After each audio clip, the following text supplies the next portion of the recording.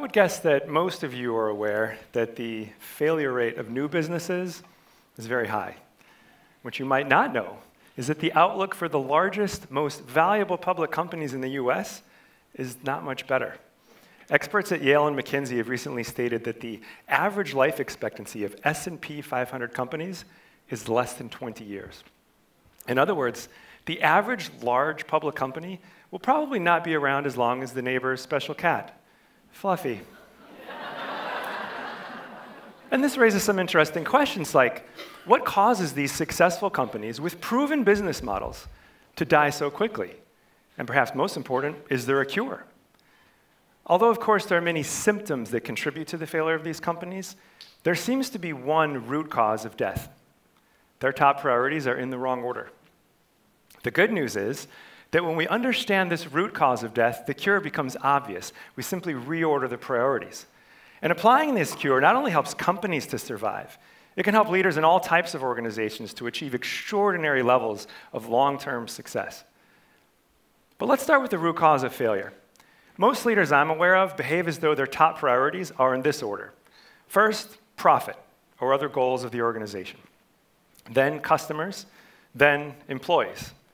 And while this might just seem to be business as usual, making profit the top priority essentially guarantees the premature death of the organization. Here's why. When leaders make profit the top priority, they will either consciously or unconsciously neglect employees in a systematic way. When employees are consistently neglected, they become increasingly disengaged over time. As a result, customer service declines, product quality declines, and innovation is much less likely to occur.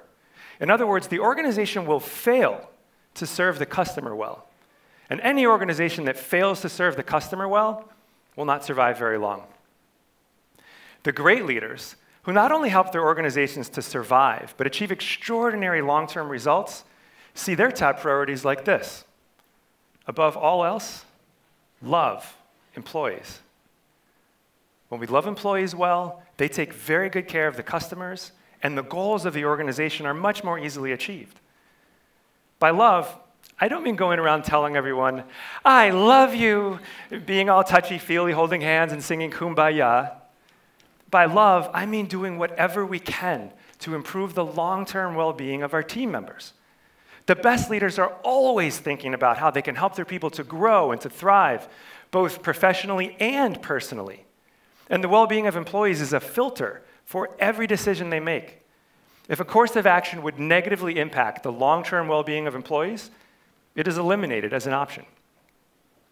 Now, by nature, I am terrible at this. I am hardwired to be a type A, goal driven, selfish jerk. And I'm serious. And my obsession with goals actually led to my greatest failure. In January of 2001, I tried to take a shortcut to success.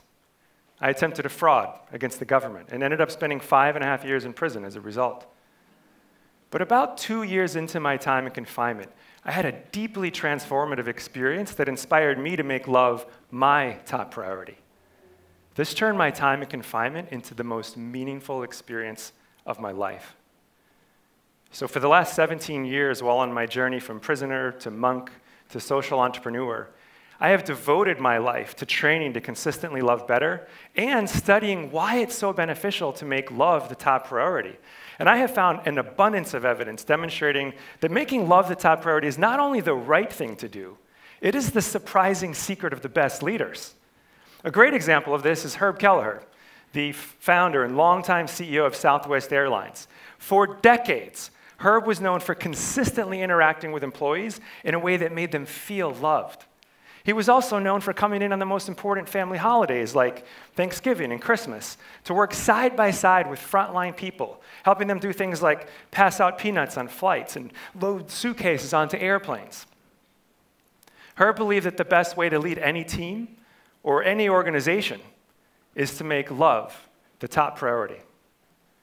To say that Herb was successful with this practice would be a tremendous understatement. We could make a good case that relative to their industry, Southwest is the most successful company in US history. They have been profitable for 46 years straight. That is extremely impressive in any industry, In the cutthroat airline industry, it is almost inconceivable. And to achieve this remarkable feat, Herb never laid off a single employee and never once cut pay. Herb Kelleher is not alone, though. Many other leaders have proven this principle. In a landmark study conducted by Harvard researchers Kotter and Heskett, they tracked 207 publicly traded companies over a period of 11 years. Companies with leaders who were intentional about making it a top priority to take good care of employees outperformed their profit focused competitors by a huge margin. Over 11 years, the people focused companies increased their net income by an average of 756%. The profit focused companies increased their net income by only 1%. This translated into a 901% increase in stock price for the people focused companies versus only a 74% increase for the profit focused companies. There are many, many reasons to lead with love as the top priority. This is the key to attracting and retaining fully engaged employees, to delivering world class customer service, and to being agile and innovative enough to avoid becoming obsolete. But here's the primary reason that leading with love, making love the top priority, is the most effective way to lead influence.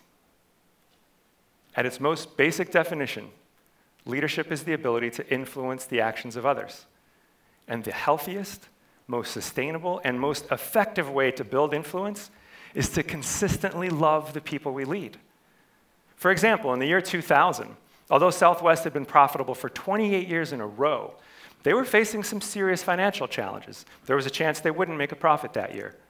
So Herb Kelleher sent a memo to all of the nearly 30,000 Southwest employees, asking each of them if they would just do their best to save $5 per day for the rest of the current quarter. You could imagine how that would go over in profit focused companies.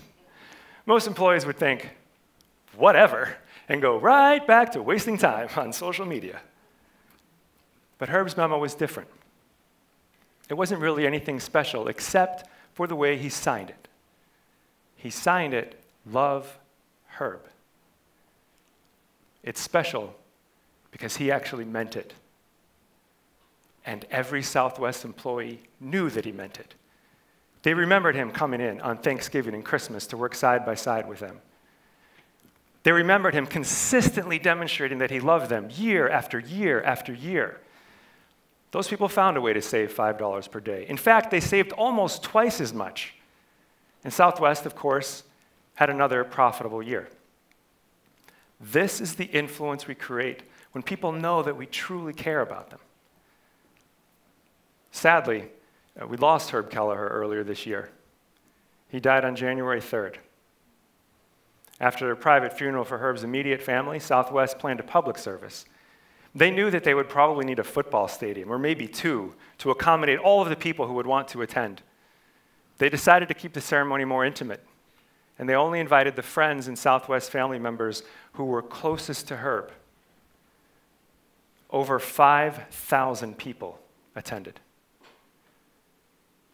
During the two hour memorial, speaker after speaker shared emotional examples of how Herb had positively impacted them and so many others. And this brings us to the most important reason to make love the top priority. If you spend the rest of your career leading with love as the top priority, you will look back one day and realize that you made a significant positive impact on the people around you, and that you empowered them to make a positive impact on many others.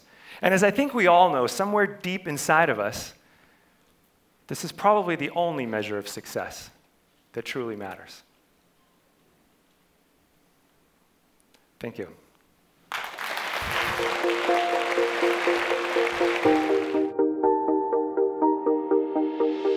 Música